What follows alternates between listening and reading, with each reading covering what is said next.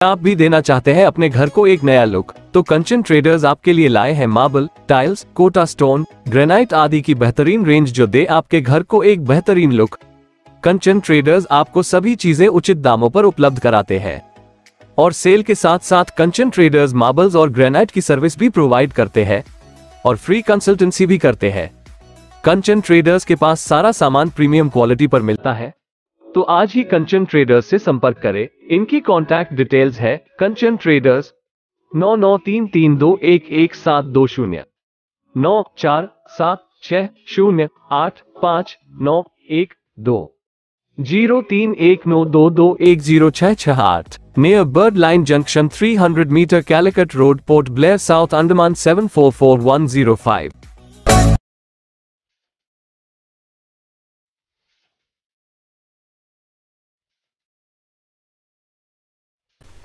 नमस्कार। निकोबार टाइम्स में आपका स्वागत है।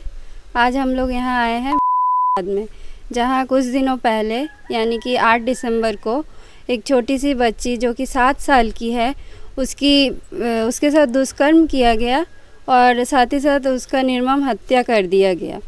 तो इसी सिलसिले में आज उनके पेरेंट्स से हम लोग बात करते हैं। आइए। तो मैम बताइए बच्ची के साथ क्या हुआ था उस दिन? बच्ची खेलने गई रही। बच्ची मतलब घर से तीन बजे के टाइम में खेलने निकली रही। बच्ची नहीं आ रही थी तो मैं बेटा को भेजी। तो बेटा मतलब गए उनको देखने के लिए। तो उनको किसी ने बुलाया, बोल के मेरे को बताए बेटा। फिर मेरे घर में मेरी एक बड़ी बेटी आई रही। तो मैं बोली, ठीक है, तुम लोग घर में बैठो, मैं अभी जाकर देख कर उनको भेजती हूँ, बोल के घर में, घर से निकली। जब मैं जहाँ पर बच्ची खेलने गई रही, वहाँ देखी, वहाँ मेरे को बच्ची नहीं मिली। नहीं मिलने के कारण फिर मैं अगल बगल बच्चों से पता करी। उन लोग बोले, नहीं, हमारे वहाँ नहीं आई है। तो मैं, मेरा बेटा जिसके नाम लिया रहा, उनके घर की तरफ़ मैं गई तो वहाँ पर भी बच्चे लोग पहले भाग कर गए तो बोले नहीं वहाँ पर भी नहीं है बोल के बोले। फिर वहाँ से हम लोग सभी को रिटर्न आ गए। रिटर्न आने के बाद में मैं फिर से उनको रोड की तरफ़ देखने के लिए चली गई और दुकान की तरफ़ में बच्ची उधर भी खेलने जाती रही कभी कभी उनके भाई के साथ में। मैं वहाँ भी गई वहाँ पर भी मेरी बच्ची मेरा को नहीं दिखाई दी। वहाँ मैं दुकान में कुछ सामान ली फिर उसके बाद में मेरे दिल में शांति नहीं था।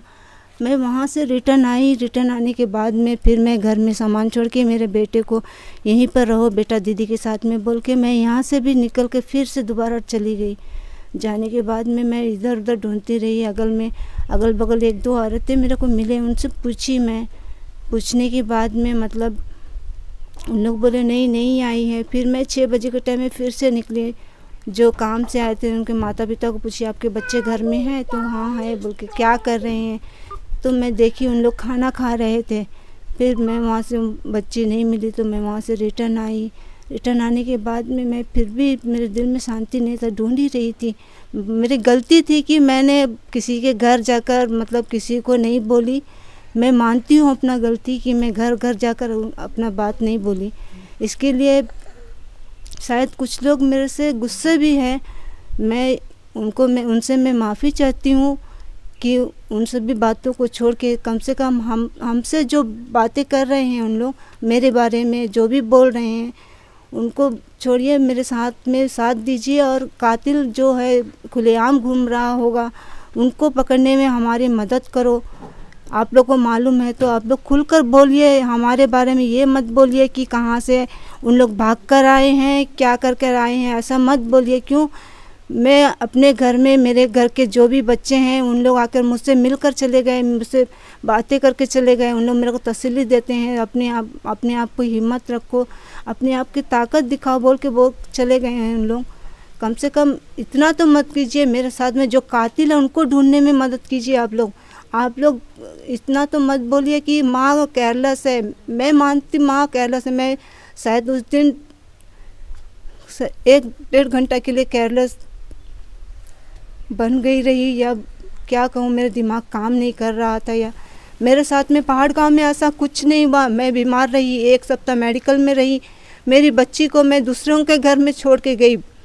दूसरों के मतलब अपना खास रिलेटिव भी नहीं रहा। मैं उनके पास में मेरी बच्ची को छोड़ के गई थी। एक सप्ताह मेरे हस्बैंड और मेरे छोटे बच्चे के साथ में हम लोग हॉस्पिटल में रहे। मेरी बच्ची अकेली वहाँ दूसरों के घर में स्कूल जाती रही। उन लोग नहलाते थे दुलाते थे, सब कुछ करते थे। शायद मेरी भूल वही थी कि वो किसी घर, किसी बच्ची के घर में होगी बोल के मैं अपने आप को थोड़ा ढील छोड़ दी। तो प्लीज़ मैं उन सभी बातों से माफ़ी मांगती हूँ। आप लोग हमारे बारे में गंदे वर्ड ना बोले, हमारे बारे में गंदे विचार ना करें। आप लोग कम से कम बस्ती वाले मिल के आप लोग को भी पता होगा तो प्लीज़ उस कातिल को हमारे सामने लाइए। कातिल, आज मेरी बच्ची के साथ मैं ऐसा करा, मेरी बच्ची चली गई। मेरे, मुझे तो बहुत दुख है। कल ऐसा ना हो कि आप लोगों के साथ में, आप कोई माँ के साथ में या कोई बहन के साथ में या कोई बच्ची के साथ में ऐसा हादसा हो, कम से कम आप लोग हमारे साथ दीजिए। कातिल है उनको सामने लाने में आप लोग साथ दीजिए। ये नहीं कि जो हो गया उसके लिए माँ बाप को ही कोसते रहे, या न्यूज़ चैनल में आप लोग देते रहे। ऐसा मत कीजिए। धन्यवाद। तो मैं आपसे सवाल पूछती हूँ। हाँ। तो आठ तारीख को आप लोगों को बच्ची नहीं मिली? नहीं मिली। फिर आ, उसके मतलब उसके बाद क्या नौ तारीख को क्या हुआ? मतलब आठ आठ तारीख को कब तक आप लोग ढूंढते रहे? आठ तारीख को मैं साढ़े छः सात बजे तक बच्ची को ढूंढती रही। उसके बाद उसके पापा आएँगे बोल के ढूँढने जाएँगे सोची। तो उस दिन उनके पापा लेट से आए। लेट हो गया था उनको काम गए हुए। वो दस साढ़े दस के करीब उसके पापा आए। उनके पापा को भी मैं बोली। उनके पापा जाने ही वाले थे पर उनके पापा को मैं ही मना करी क्योंकि किसी घर में जाकर अभी हम लोग रात को दरवाज़ा खटखटाएँगे तो उन लोग कहीं गुस्सा हो जाएँगे क्या हो जाएँगे बोल के हम लोग नहीं बोल पाए। दूसरे दिन जब हम बच्ची को पाँच बजे से ढूंढ रहे थे सुबह के सुबह पाँच बजे तब तो मतलब बहुत जन को पता हो ही चुका था होगा, पर उन लोग उस समय मेरे साथ में क्यों नहीं आए? ना ही मेरे पति के साथ में कोई आदमी आया, ना ही कोई औरत मेरे साथ में आया, ना ही कोई बच्चे मेरे साथ में आया। उन लोग सिर्फ़ मेरी एक जेठानी थी, ये सब बात सुन के आई और बोली, बच्ची अब तक नहीं आई है। बोली, मेरी जेठानी, वहाँ से निकल कर जिस जिस तरफ़ में मेरी बेटी का डेड बॉडी मिला, वहाँ दो बार रन लगाई, दो बार घूमी। पर वहाँ पर भी मेरी बच्ची उस समय नहीं थी। उसके बाद में पुलिस छानबीन करने के बाद भी मेरी बच्ची नहीं मिली। डॉग आया। पुलिस कब पुलिस को कब जानकारी मिली इस बात की? आप लोग कब उनको जानकारी दिए? मैं पुलिस को नहीं। सुबह जो फ़ोन करे थे। सौ नंबर में फ़ोन किए थे आप लोग पुलिस को? वो कितना बजे किए थे? सुबह छः बजे कॉल साढ़े छः बजे। साढ़े छः बजे। और उसके बाद पुलिस आया। हाँ? उतना टाइम दिमाग में भी नहीं रहा। साढ़े छः अच्छा हाँ ठीक है ठीक है। सुबह सुबह के टाइम ही आप लोग कॉल किए। फिर पुलिस आए थे। हाँ, हाँ। कितना बजे आ गए आधा घंटा का अंदर ही ओके वो बताइए पुलिस जब आया जो आ, जितना बजे आप लोग बुलाए जब आया क्या क्या हुआ उसके बाद वो बताइए। नौ तारीख मतलब डेट टाइमिंग बोल हाँ? बोल सकते टाइमिंग पुलिस को जब हम कॉल करें तब साढ़े छः सात बजे के करीब था होगा। पुलिस को कॉल करने के बाद में पुलिस आधा घंटे के करीबन आ चुके थे यहाँ पे। पुलिस भी आकर यहाँ मतलब हमसे पूछताछ करने के बाद में छानबीन करे घर घर जाकर ढूंढे, तब भी बच्ची नहीं मिली। उसके बाद में उन लोग डॉग बुलाए, डॉग लेकर आए, डॉग से भी ढूंढे, तब भी बच्ची नहीं मिली। बच्ची हम लोगों को उस समय तक नहीं मिली। फिर उसके बाद में जब यहाँ से पुलिस लंच के लिए चली गई, जाने के बाद में बच्चों को छुट्टी होने टाइम में दो दो ढाई बजे की टाइम में बच्ची की डेड बॉडी किसी ने देखा और उनके बाद में वो जाकर बगल में किसी को बताया कि वहाँ पर एक बच्ची की डेड बॉडी पड़ी है उनके मुँह में मक्खियाँ बैठी हुई है। बोल के बताए फिर पुलिस जाकर देखा। हमको नहीं बताई। वो ये बात पुलिस को मतलब कोई किसी कोई बड़े आदमी को ही बताए। जी हाँ कोई बड़े आदमी को ही बताए।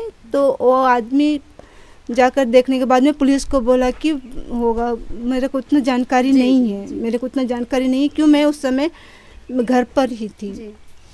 मेरे साथ में दो कांस्टेबल छोड़े हुए थे उस समय मैं घर पर ही थी। मुझे नहीं मालूम जब बच्ची की डेड बॉडी उठा के उन लोग सामने लेके आके मतलब पन्नी में रख दिए थे उनके बाद में हमें पहचान के लिए लेके गए कि बच्ची वही है कि कौन है बोल के तो मैं जाकर देखी बच्ची मेरी ही बच्ची थी मेरी ही बच्ची मैंने जो कपड़ा पहनाया था, मैंने जो माला उनको खेलने के, बनाकर खेलने के लिए दिया था, वही उसी चीज़ में मेरी बच्ची मेरे को मिली। प्लीज़ प्लीज़ मुझे उनके लिए न्याय न्याय दिला दीजिए। मेरी बच्ची के साथ जो भी कुकर्म किए हैं, उनके, उनको सज़ा दीजिए। अगर उनको, प्लीज़ अगर मौत की सज़ा नहीं दे सकती है तो हम लोगों के हवाले कर दीजिए ताकि हम उन्हें सज़ा दे सकें। ताकि और किसी बच्ची के साथ या किसी माँ के साथ या किसी बहन के साथ में ऐसा ना हो कभी। तो जब बच्ची की बॉडी मिली पुलिस को तो पुलिस उसको बॉडी को लेके गए। जी हाँ जब पुलिस को बॉडी मिली पुलिस यहाँ से बच्ची को लेकर जी पोस्टमार्टम कर करके फिर हमें डेड बॉडी सौंपा गया। तो पोस्टमार्टम पोस्टमार्टम का जो रिपोर्ट है वो आपको मिला है अभी तक? पोस्टमार्टम का रिपोर्ट तो अभी तक हम लोगों को नहीं मिला है। तो आ, आपने पुलिस से ये जानकारी लेने की कोशिश की या प्रशासन से कि ये आप लोगों को रिपोर्ट क्यों नहीं मिला है अभी तक? हॉस्पिटल से। अभी तक तो हम गए नहीं हैं कल भी हमारे वहाँ पुलिस वाले आए रहे उन लोग पूछताछ करके फिर से गए हैं। अब तक हम लोग पुलिस वाले के पास में नहीं पूछे हैं पोस्टमार्टम रिपोर्ट के बारे में। हम लोग जाएँगे, उनको पूछेंगे कि हम हमको तो जो हो गया तो हो गया। अब हमारे बच्ची की जो भी रिपोर्ट है वो तो हम पूछेंगे, हम, हमें चाहिए ही। और जो कातिल है, उनको भी हम मांगते हैं, हमारे सामने ही देखना चाहते हैं कि वो कातिल कौन है। जो इतनी छोटी सी बच्ची, एक मासूम सी बच्ची, जो किसी का गलत नहीं करी, किसी से कुछ नहीं करी, बड़े लड़के हैं, उनको भैया बोल के बुलाती रही। जो बुज़ुर्ग हैं, उनको दादू बोल के बुलाती रही। जो बड़ी दीदी हैं, उनको दीदी बोल के बुलाती रही, जो आंटी हैं, उनको आंटी बोल के बुलाती रही। तो आज मेरी बच्ची के साथ में ऐसा हुआ, कम से कम उनका न्याय तो मुझे चाहिए ही। और ये, हम हम आपसे ये जानना चाहते हैं कि यहाँ के जो काउंसिलर है उन, उनसे आप, आपने इस सिलसिले में कुछ जानकारी लेने की कोशिश की है कि रिपोर्ट क्यों नहीं मिला ये सब इसके बारे में? जी हाँ काउंसलर सर कल आए रहे हमारे घर में। कल काउंसलर सर आए रहे, आने के बाद में काउंसलर सर से हम जान पूछे। रिपोर्ट तो हमें अब तक नहीं मिला। काउंसलर सर के साथ में और मैडम भी आए रहे। मैडम लोग से भी बात हुआ। मैडम लोग भी बोले, ठीक है, हम पुलिस पुलिस से जाकर मिलेंगे, बातें होते करेंगे। जो अपराधी है, उनको सामने भी लाएँगे। लाने, लाएँगे बोल के बोले हैं उन लोग। और रिपोर्ट के बारे में भी मैं पूछी हूँ कि काउंसलर सर कम से कम हमारी मदद करेंगे ही बोले हैं। जी तो हम आपसे ये और एक बात जानना चाहते हैं कि ये जो हादसा हुआ है आपके यहाँ पे इस जगह में तो इस इसमें आपके पड़ोसियों का क्या कहना है इस मामले में? पड़ोसियों तो जब से हमारे साथ में ये हादसा हुआ है कितना भी कुछ भी हो पड़ोसी मदद करते हैं। अनजान हो जानते हो चाहे ना जानते हो। पड़ोसी तो मदद मदद करना ही चाहिए पड़ोसियों को। पर यहाँ पर तो मैं देखी कोई पड़ोसी मतलब हमारी मदद के लिए नहीं आए। हमसे मतलब हमसे मतलब ऐसा कुछ पूछे ही नहीं। बस एक दो जन होंगे जो इक्के दुक्के लोग हैं जो बोले कि कातिल है कातिल को सज़ा दिलाइए। इतनी बात बोलते हैं। और उन लोग तो सिर्फ़ इतना ही बोलते हैं, कहाँ से आए हैं इन लोग, कहाँ से भाग कर आए क्या हम पाकिस्तान से आए हैं या इंडिया के हैं या और कहीं के हैं जो इन लोग हमारे साथ में ऐसा सवाल करते हैं? जी, ठीक